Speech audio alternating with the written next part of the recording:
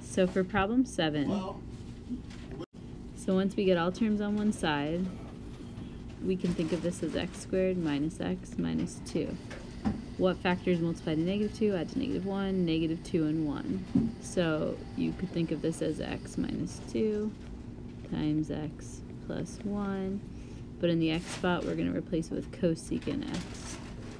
Then we set each of these factors, cosecant x minus 2 equal to 0, and cosecant x plus 1 equal to 0. When we solve, we get cosecant x equals 2, cosecant x equals negative 1.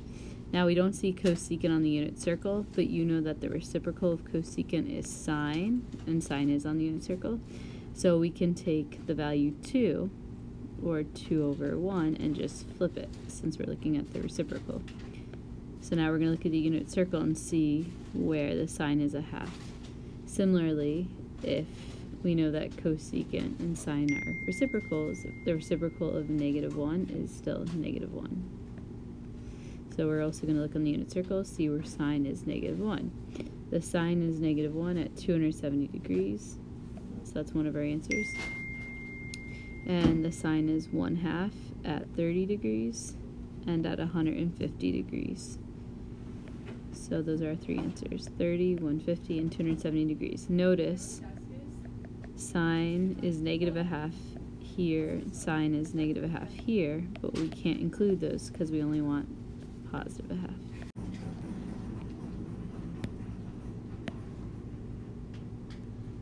So for number 8, you again want to get all terms on one side, so that's why we subtracted 1, we added sine x, and all terms are on the left side. You then see cos and you see sine. So because we see cos squared, we use our identities and we can replace with 1 minus sine squared. Now, in this problem, we're only dealing with sine, which is what we want. So we're going to rearrange. There's nothing to distribute in, so bars drop. The positive one and negative one cancel.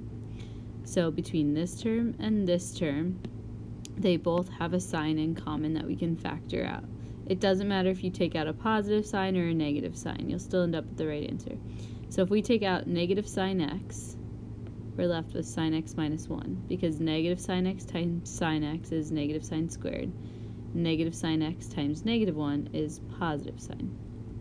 Then from there you set each factor equal to 0 and solve. So we're trying to see where the sine is 0, where the sine is 1. The sine is 1 at 90 degrees. The sine is 0 over here at 0 degrees. The sine is also 0 at 180 degrees. If you want to write in radians, you can go for it as well. Either way is fine.